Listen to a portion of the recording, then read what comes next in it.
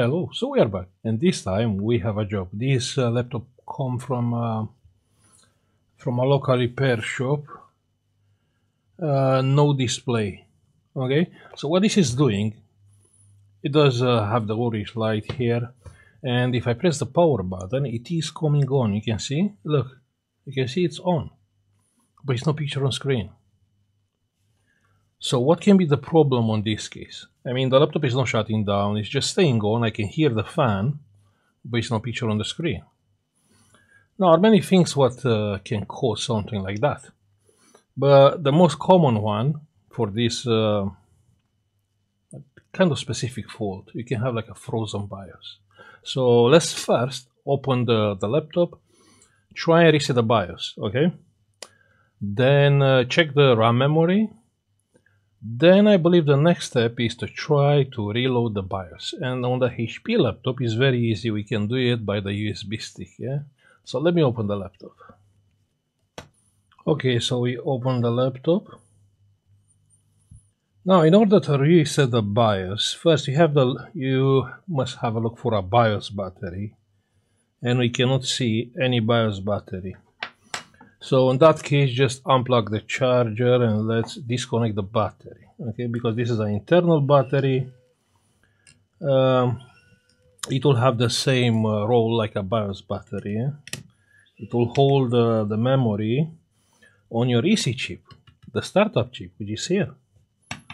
Okay, now let's disconnect the battery.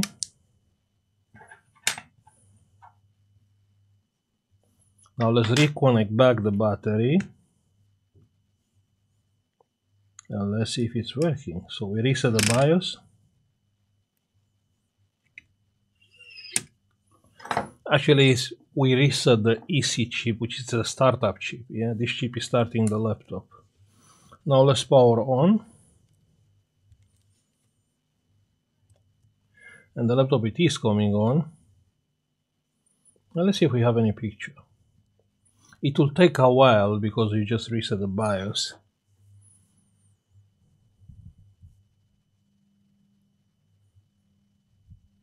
Having in mind this computer uh, is coming from a computer repair shop, um, I believe they trial ready to reset the BIOS. Yeah, so we still have no picture on the screen. Okay, let's power off the laptop.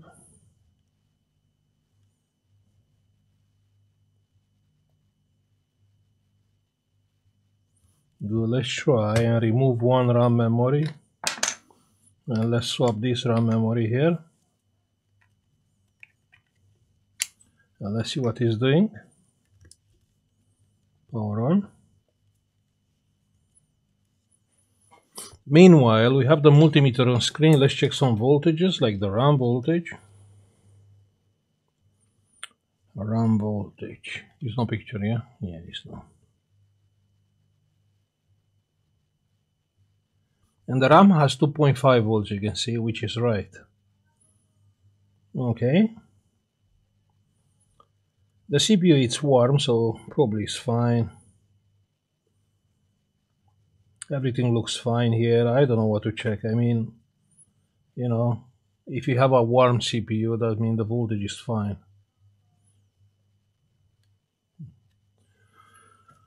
Yeah, all good. Okay, so we still have no picture. Now the next step is to try download the BIOS and from the HP website and try to reload the BIOS. Yeah.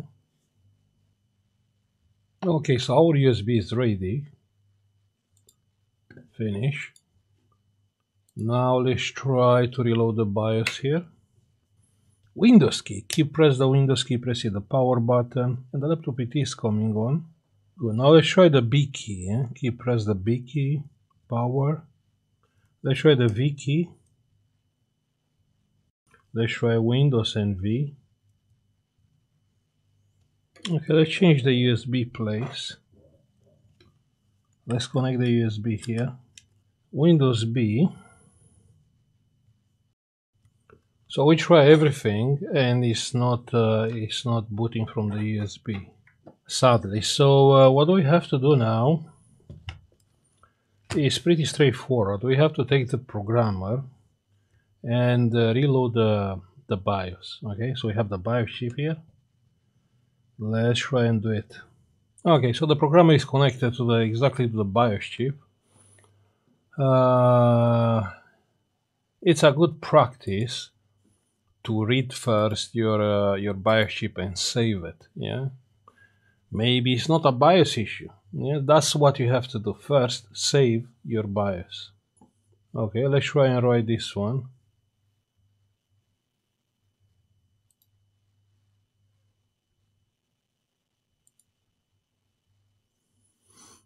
And now it's uh, erasing, programming, and checking the BIOS chip.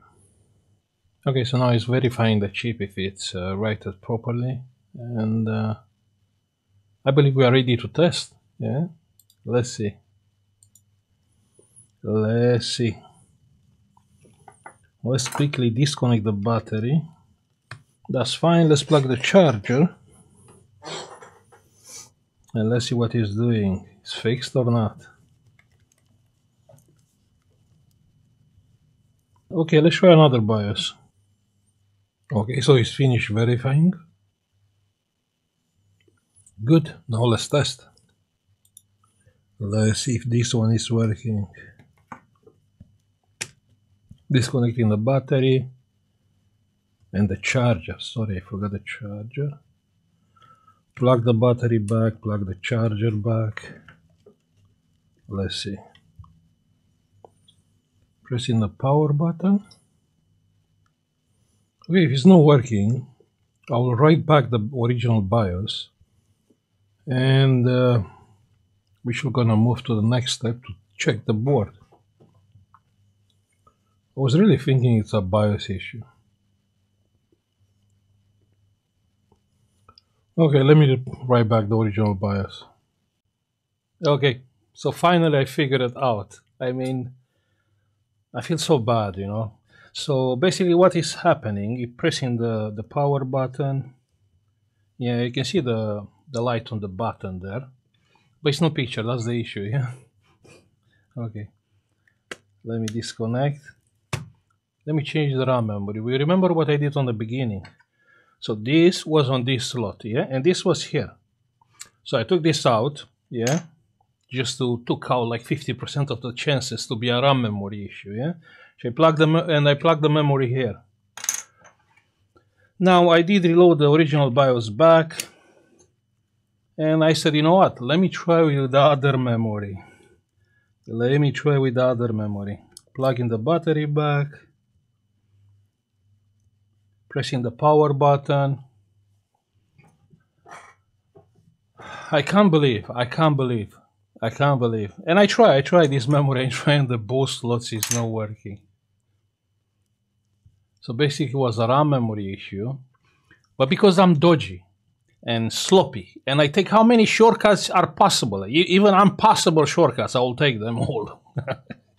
I didn't check with the, with the, you know, the truth is I don't have a, a DDR4 for spares. But I could like swap it both and uh, figure it out if it's a RAM issue or not.